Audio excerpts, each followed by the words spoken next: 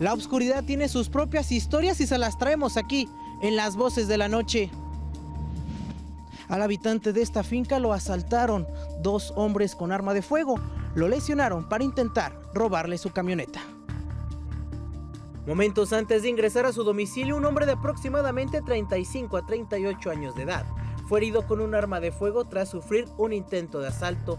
Los hechos ocurrieron sobre las calles San Francisco y San Pedro, en la colonia La Providencia en Tonalá. Testigos aseguraron que el hombre ingresaba a su domicilio cuando fue increpado por dos sujetos armados que intentaron robarle su camioneta. Tras discutir, uno de los presuntos asaltantes detonó su arma contra la víctima, hiriéndolo en un brazo y en tórax. Es que aquí diario están. En esta semana pasada se robaron cuatro. No, en esta semana, en esta y, parte del que fue de la final, del final fin de semana y, ahora cinco. cinco. asaltos. A los que nos asaltaron hace dos años también nos quitaron una, CRB, me quitaron a mí.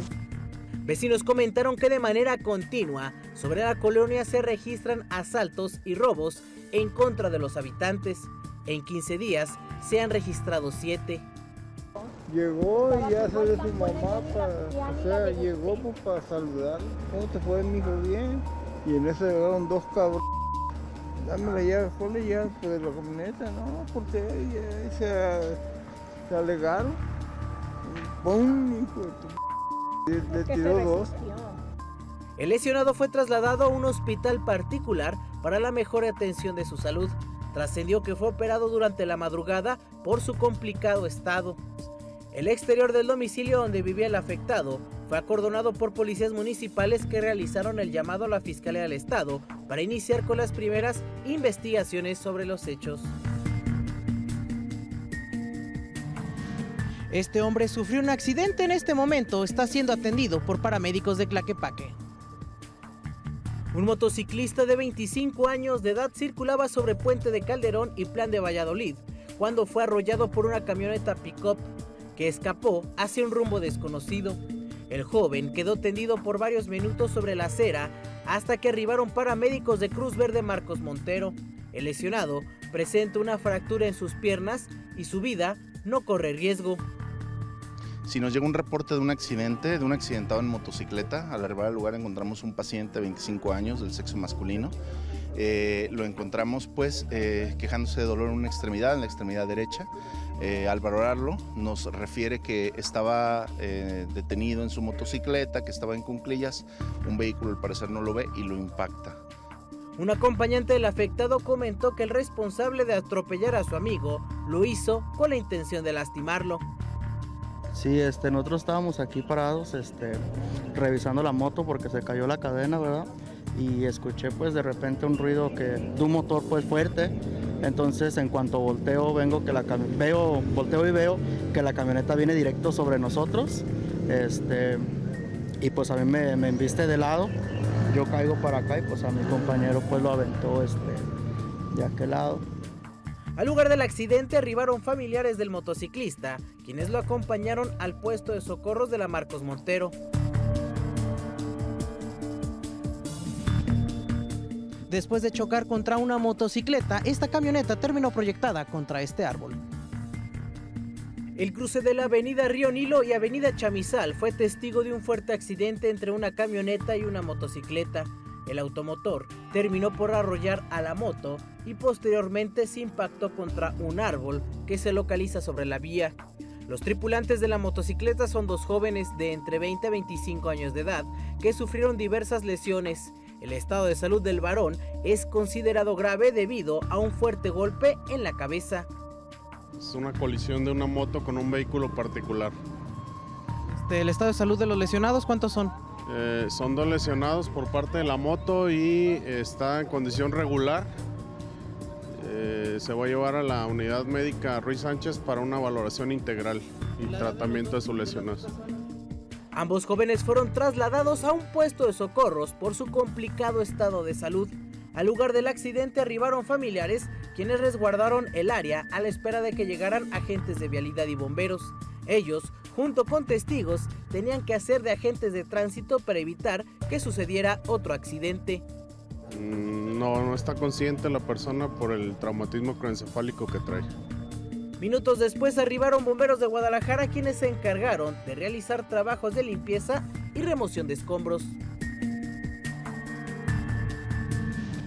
El motociclista perdió la vida después de estrellarse contra este tráiler. Un motociclista de aparentes 25 años de edad murió tras chocar contra la cabina de un tráiler. El lamentable hecho sucedió sobre Avenida Mariano Otero y el cruce con Avenida Tepeyac en la colonia Mariano Otero en Zapopan. El joven circulaba sobre Mariano Otero cuando terminó por estamparse contra un tráiler que cruzaba la vía con la intención de estacionarse. Testigos fueron alertados por el sonido que generó el fuerte impacto. Mira, nos están reportando, eh, bueno, vía cabina de radio estamos recibiendo un reporte de una persona que fue eh, arrollada por un vehículo pesado, un tráiler en este caso. Al arriba encontramos a una persona de aproximadamente 25 28 años, eh, el cual efectivamente choca con, al parecer se impacta con un tráiler. A la llegada de paramédicos de Cruz Verde Zapopan, poco pudieron hacer porque el hombre ya no contaba con signos vitales. Tras el percance no se localizó el paradero del chofer del tráiler, quien después de estacionar el camión pesado aparentemente escapó y no hubo testigo que diera información sobre su paradero. Desconocemos, desconocemos, hemos estado también de igual manera solicitando la presencia de alguna autoridad, ya sea la policía de Zapopan o ya sea movilidad, ya sea cualquier autoridad y no se ha hecho presente ninguna. Policías de vialidad arribaron al sitio y posteriormente llamaron a la Fiscalía del Estado. El cruce de Juan de Dios, Robledo y República fue testigo de un fuerte accidente entre una motocicleta y una camioneta. Avenida República y Juan de Dios Robledo fue nuevamente el escenario de un accidente vial. En esta ocasión, los protagonistas fueron una motocicleta y un camión repartidor. Tenemos un choque de una motocicleta con un vehículo de carga y el mismo se proyecta contra un árbol en una finca. Los tripulantes de la moto se estrellaron contra la parte posterior de la unidad. Empujaron el vehículo hacia un árbol localizado al exterior de un domicilio. El follaje de gran tamaño tapó el acceso de la finca. Afortunadamente los bomberos de Guadalajara pudieron retirar el árbol. A la llegada de cuerpos de emergencia localizaron a los dos tripulantes de la moto tendidos sobre el suelo. Ambos fueron atendidos por paramédicos de Cruz Verde, quienes tras estabilizarlos los trasladaron a una unidad médica para la atención de sus heridas. Su estado de salud es considerado grave. Sí, mira, nos reportan un choque al arribar. Son dos lesionados, un masculino de aproximadamente de 21 a 25 años, con trauma de cráneo, eh, posible esguince cervical y fractura de, de rótula. Bomberos tapatíos realizaron trabajos de remoción de escombro y limpieza de residuos para evitar otro accidente.